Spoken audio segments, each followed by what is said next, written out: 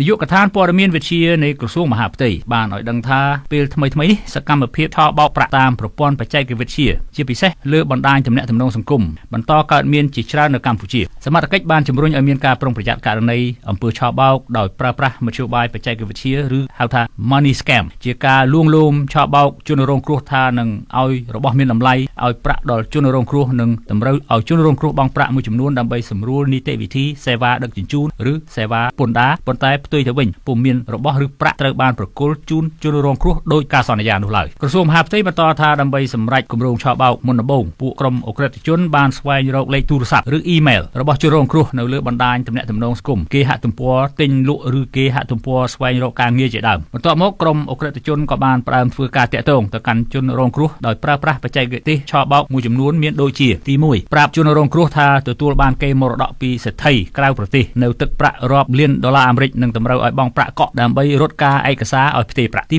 2ប្រាប់ជនរងគ្រោះថា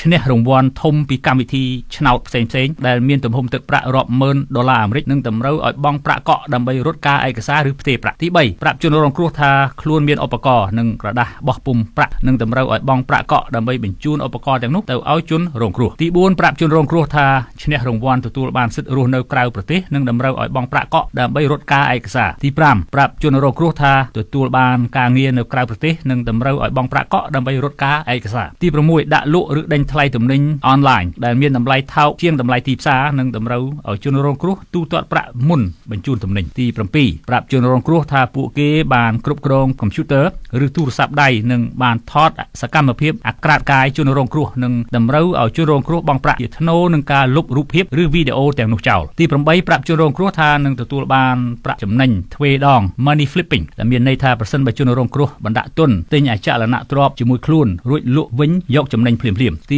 9បន្លំកណនីបណ្ដាញទំនាក់ទំនងសង្គមជាបរិះឬជានារីស្អាតស្អាតប្រើប្រាស់មនោសញ្ចេតនាឆបោកប្រាក់ពីជនរងគ្រោះ romantic scam ចំណុចទាំងអស់នេះហើយដែលក្រសួងមហាផ្ទៃបានរំលឹកដល់ពលរដ្ឋនៅរាល់អបាយកលដោយបានរៀបរាប់ខាងលើព្រោះក្រុមអក្រិតជនបន្ទាប់ពីទទួលបានប្រាក់ពីជនរងគ្រោះគឺ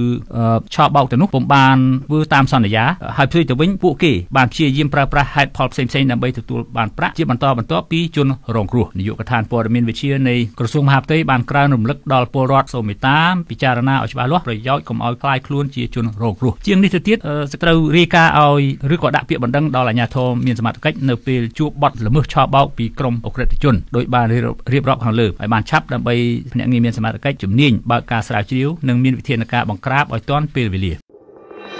thank you